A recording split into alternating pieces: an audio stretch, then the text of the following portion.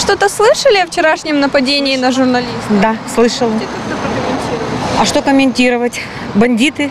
Ну, я считаю, что общее состояние, общая ситуация в Одессе нестабильная. И, к сожалению, наш город и наша страна наводнена оружием и применяется не в мирных целях. Это очень опасно. И вообще не только журналистам опасно, мне кажется, и простым гражданам опасно вот в Одессе находиться. Это ужасное вообще, конечно, событие, просто жуть. Да. Очень печально, и я вообще не то что возмущена, а я просто страшно опечалена, что такое происходит. Я слышал, так обстреляли с машины двух журналистов, пострадавшие попали в больницу. Ну, я так думаю, это не случайно. Это или кто-то заказал, но просто так это не может быть. С седьмого канала напали на журналистов, оператора, там еще на кого-то. Подъехала машина, и что, о чем-то переговорили, и вдруг у нас случилось нападение, непонятно из-за чего.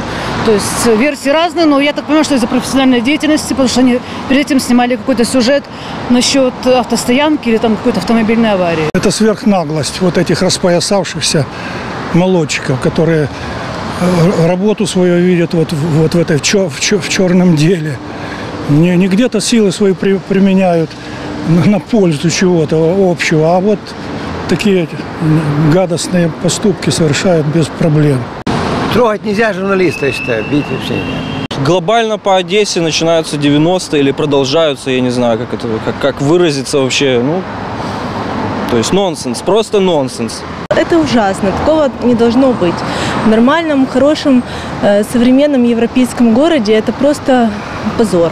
Смотрели сегодня новости? Как вы к этому относитесь? Ну, ужасно. Есть такому вообще место? Да ну вы что, конечно, нет. Должны люди быть наказаны за это. Везде, во всех странах это ненормально.